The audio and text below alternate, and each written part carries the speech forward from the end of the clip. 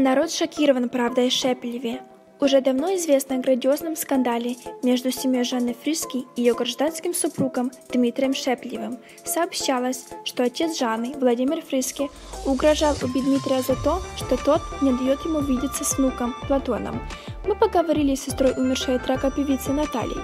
Она рассказала нам, что Дмитрий не раз позволял себе оскорбления и в адрес больной жены, и в адрес ее родителей и самой Натальи, передают новости в мире. Я первый раз услышала, как он кричит на Жанну еще в Юрмале, говорит Наталья. Ты страшная и уже никому не нужна, кроме меня.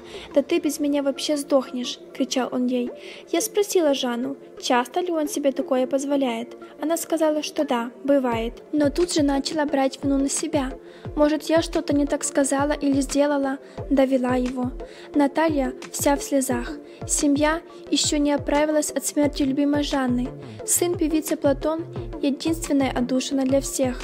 Ведь мальчик вырос на руках у мамы Жанны и у Натальи. До последнего дня жизни Жанны он жил в семье Фриски.